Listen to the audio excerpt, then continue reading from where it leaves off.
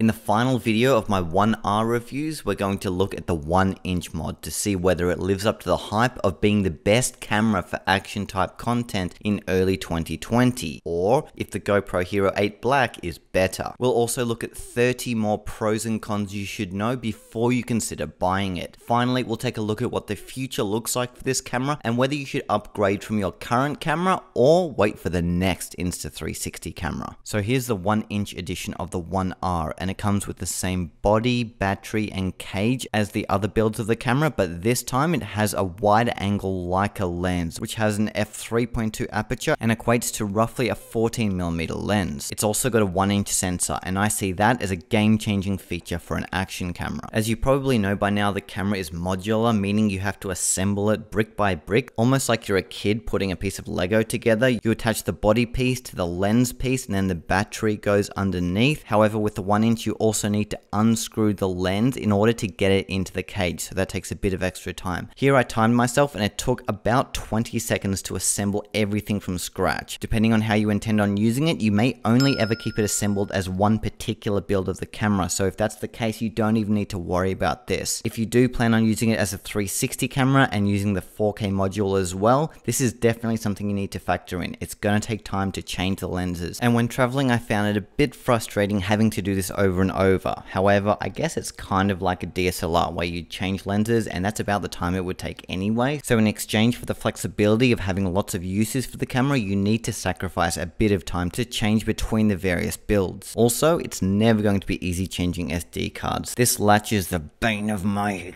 uh, stupid thing. On the plus side, it does accept really big SD cards. Here I'm using the SanDisk Extreme Pro 400GB SD card and it works great. You can fit well over 10 hours of 5.3K video on it and I strongly suggest using a card like this if you plan on buying the 1R. I've noticed the sharpness is really good and 5.3K does genuinely look better than 4K even when exported in a 4K video. We know already the stabilization is good for the 360 build but with the 1 inch build I was honestly surprised. It's actually doing a very decent job here given I'm not taking any care whatsoever, I'm just running like a maniac who forgot to take his meds. Here I flipped the camera upside down and did the same thing, and this shot is looking stable. The camera has a good selection of frame rate options. It does 5.3K at 30 frames a second, 4K at 30 and 60 frames a second, 3K at 30 and 60 frames a second, and HD at 30, 60 and 120 frames a second with the 1 inch mod. Here I tested out the slow motion 120 FPS at HD and it's looking good. That snow went down my back by the way and it burned. Ouch. Okay, well I can't test this in the water because there ain't no water in sight. It's all ice. But I've got a bottle of water. Next best thing, right? Let's do it.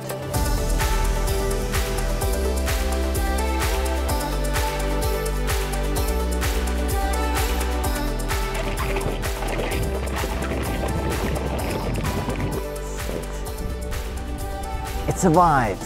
Yes. Here's a hyperlapse I shot at 5.3k resolution and it's kinda bumpy. I know for sure if I was shooting with the 360 build of this camera it would be silky smooth. So while I guess it's good to have the hyperlapse option, it's always going to be better when shot in 360 due to the far superior stabilization you can get when shooting 360 video. There's my camera. It's covered in snow. Did it survive? Yeah, looks good to me. Although there does seem to be snow right in there. I tried blowing it out and I can't get it. I just worried that if I was to unscrew this, maybe the snow or potentially water could get underneath the lens. So while I can't verify it, I suspect there could be some kind of issue with people unscrewing the lens, getting dirt and water and snow underneath the big bulbous lens bit. Now you're probably wondering, how long can you record 5.3K video continuously without the camera overheating? Well, here I tested just that. The temperature was 21 degrees Celsius when I recorded this, and the camera recorded for 28 minutes and and 47 seconds before I got a message that the camera was getting hot and it had to stop recording. That's pretty decent and this is something that can be improved with future firmware updates. Also, you're going to get way longer recording times when shooting with the 4K module and the 360 module. You can plug the 1R into external power. It's got a USB-C connector, so hypothetically you could shoot all day long connected to an external battery as long as you button on and off at least every 10 minutes. Also, I've had a few questions about how the design holds together because the camera's modular. A few people have been worried about whether it's going to come apart, whether it, the design is flimsy. Well, I've got to say, once you assemble all of the pieces, you don't even notice that it's a modular camera. It feels exactly like a GoPro in your hand, and for my two months using it so far, I've not had a single issue with the connectivity of the parts. I found the inbuilt sound recording to be a bit unreliable. It's still early days and I'm noticing strong amounts of wind and handling noises of the actual camera while I'm trying to speak. And yes, I do realize I'm wearing silly floppy dog ears, but they're warm and it's really cold in Canada right now. I find it really impressive how much this camera can do. You can use it for a hundred different things. So depending on the type of content you create, you can use it just for that.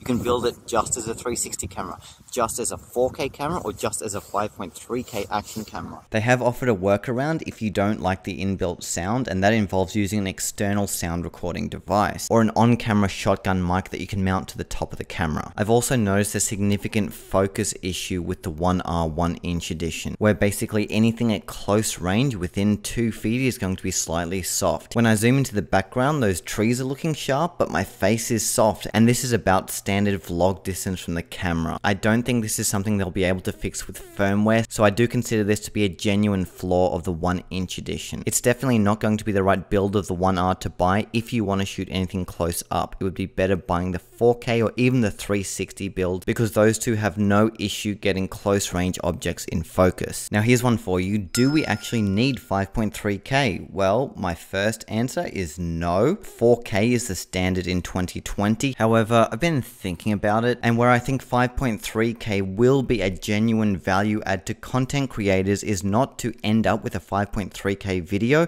but to end up as a 4K video just with different fields of view. Here I'm in Insta360 Studio and I shot this in 5.3K, but it doesn't mean I have to export it at that resolution. So I've got ultra wide, wide, linear, and narrow. And when you look at the difference between ultra wide and narrow, that's pretty significant. So the 5.3K is giving me that extra level of flexibility to have my shot ultra wide or a little bit narrower and I'm not losing the 4K resolution with either one. Whereas if you started with this frame at 4K and then punched in, it would be closer to about 3.5K. So you're going to get noticeably sharper video quality no matter which field of view you choose. You know how 360 video gives you the flexibility to choose your angle later? Yeah, it's a similar principle. Now I've been getting countless requests to compare the 1 inch 1R with the GoPro Hero 8. So I went out and bought myself a GoPro and here's what I got. These deer were kind enough to be my subjects and with both cameras I filmed them at their maximum resolution possible, which is 5.3K with the 1R and 4K with the GoPro Hero 8 Black. Here they are without color correction and here they are with. If you're watching this in full screen, you'll see there's a big difference between the two. The 1R looks better in most ways, the colors look better and more vibrant. The contrast and sharpness is significantly better than the GoPro. All of the trees in the distance look much sharper, the deer look sharper, and the shadows and highlights have much better definition. I'm also noticing with the GoPro there's visible noise in the shadow areas of the trees, and that doesn't look super good given it was only about 4.30 pm when I filmed this. Also if I zoom into the branches up the top I'm seeing more color imperfections and sharpness issues with the GoPro that I'm not seeing with the Insta360 camera. You could say the colors look nicer with the GoPro, and you also could say the same about the 1R. It's not enough of a difference to say one is significantly better than the other. What I can say though is that the 1R 1 inch blows the GoPro Hero 8 Black out of the water in this type of shooting situation where the cameras are locked off on a tripod and the lighting is relatively even. Here I am running with the two and the difference isn't as obvious now. I think they're both doing a really good job. With its stabilization combined with 60 frames a second, the Hero 8 is actually pretty impressive, whereas at 30 frames a second at 5.3K, I'm seeing a bit of motion blur with the 1R. GoPro as a company who've been around way longer than Insta360, so you can tell they've got things like this a bit more down pat. However, Insta have a tendency of copying people's homework, so expect to see vastly improved stabilization from the 1R coming soon. Okay, this is the second test, but this time I've switched the 1R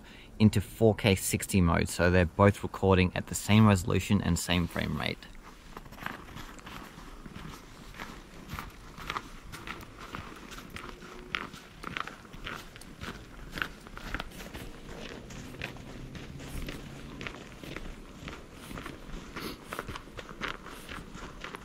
switch it back to selfie mode, I can get. I found the 1R to be exceptionally good in low light. Most other action cameras would barely even see this scene, yet it's capturing it relatively clearly. Yes, there is noise, but not that much, and yeah, if you're wondering what I'm doing, I'm making peace with the bread. We've got a tumultuous relationship, but I thought I'd be the bigger person and make peace. Anyway, I digress. Due to the 1 inch sensor, anytime you go out shooting at night, you're going to get the best result you possibly can from a point and shoot camera. Capturing a very low light scene with both cameras, and I'm noticing noticing a night and day difference. Pun intended. But anyway, again, if you're in full screen, it's going to be really obvious what the difference is. You don't have to squint much. You can probably see it if you're not in full screen as well. Basically, there's a high amount of noise with the GoPro Hero 8 and I can barely see any with the 1 inch 1R. That looks damn good on the left. It could be sharper, but it's good enough. When I take it handheld, again, I'm seeing noticeable motion blur. If you look at the lamps on either side, it's moving left and right a lot more with the 1R. I do know for a fact that they're working on a nighttime setting for video so the shutter speed isn't as slow and therefore it won't produce this kind of issue. It's not ready yet, but it should be soon. There's lots more I could talk about when it comes to comparing these two cameras. I only just scratched the surface here, but I am going to give it to the 1R for the better sharpness, better low light, bigger sensor, and also having the ability to transform into another kind of camera in a 360 camera with its other builds. But hey, that's just my opinion. If you think differently, let me know in the comments. I do quickly want to address the photo modes. The 1R has so many different different modes you can shoot in, both with the 1 inch build, the 4K build, and the 360 build, that you can properly expose basically any scene that comes your way. I shot some photo samples with the 1 inch build, and I can say they look good. I shot in RAW, I shot in HDR, I shot in night mode, which is a really good mode for the 360 build as well. And while firstly, I wouldn't buy a camera like this if my focus was strictly photography, when I took these samples, I was pretty impressed with the amount of flexibility I had later on in editing to edit these raw files and recover the highlights and the shadows quite significantly. This is another advantage of having that 1 inch sensor because it captures more overall information in the image, meaning if you mess up your shot to begin with, you can recover it later. Now really quickly I want to show you what the workflow looks like. Once you've shot your photos and videos, you can either import directly to your phone through the 1R app, or you can insert the micro SD card into your computer and process the footage in Insta360 Studio, which is Insta360's free desktop program program that is also a really good program for reframing 360 video in. The mobile workflow is much faster and what's great about it is you don't have to download all of your footage before you start editing it. You can literally edit before you download and then you can export directly from the SD card of the camera to the camera roll of your phone without having to duplicate the files, which would usually fill up your phone storage pretty fast. That's a great way to edit, it's really fast and something I'm extremely happy about is the app now allows you to export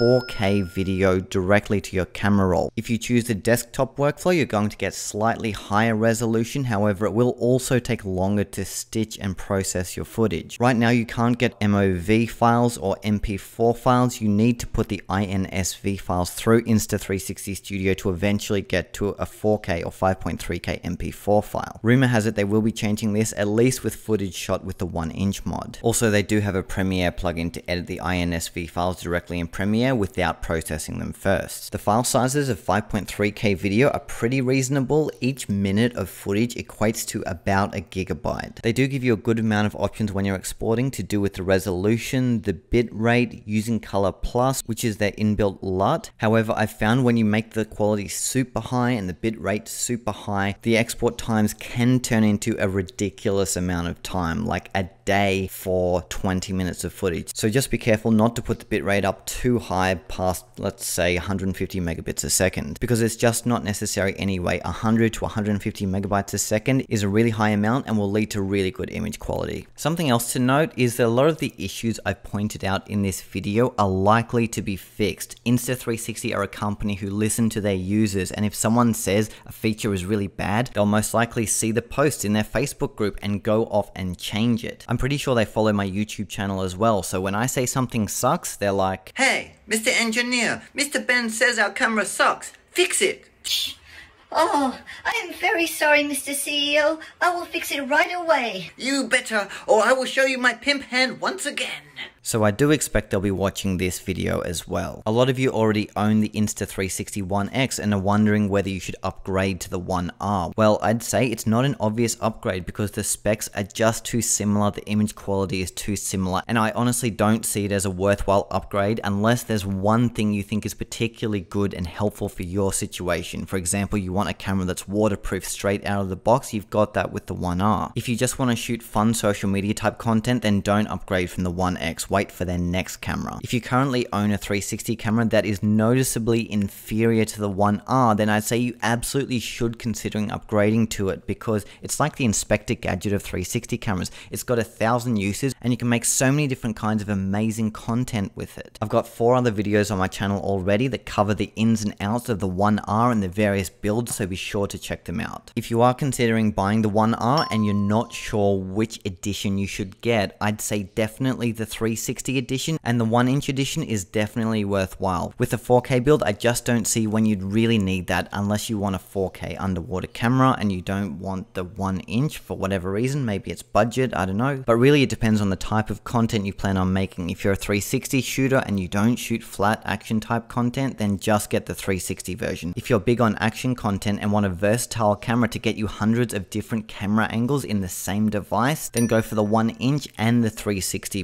I do do also want to add that if you're into 360 photography, then you should probably consider another camera. All of the best features with the 1R focus around video, and the low photo resolution is just the icing on the cake. It shoots photos good, but not great. Only consider the 1R if video is your primary focus and photo is secondary. One thing that I'm pretty sure about is that there will be more mods of the 1R. They'll come up with another cool way of using it. Maybe it's like strapping it to a horse and you put it where the horse's eyes I don't know. But since they've made the camera modular, it gives them flexibility to turn it into another kind of camera. They could always update it with a better lens or a better battery or a better screen. There are so many things they can do with this camera and most likely will. And yes, I better patent the Horse 360 camera idea because I'm pretty sure they're going to steal it. The final thing you should know, and this is just pure speculation, is will there be a 1X2? Well, this kind of is a 1X2 and it's kind of not. It's not the camera we were all expecting expecting, it's pretty different. Just like when the Insta360 EVO came out, we thought that was going to be the 1X2. So they've released three cameras after the 1X that all haven't been the Insta360 1X2. So are they still going to make this mythical camera? Well, yeah, probably. I've got no idea when, but I'd say there's a good chance they're already working on their next camera and we'll see it around the middle to the end of the year. But again, who knows what it will be? It could be the Horse 360 camera. And then if you decide to wait because you thought it was going to be the 1X2, you might be a bit disappointed that the camera neighs at you instead of having really high resolution. So anyway, this is just pure speculation, take it for what you will. I'll put a link to the 1R 1 inch edition in the description as well as the various things you've seen me use in this video. I'm kind of curious, what do you think of the 1R as a whole? Is having a modular camera a good idea or is it better to have a camera with less uses but better at those few things? Personally, I think there are pros and cons in each and what Insta have done here is just given us something different. I'll probably post a few more more videos featuring the 1R in the not too distant future as well as the other cool cameras of 2020. So be sure to hit that subscribe button so you can be the first to see them. And that's it. Bye.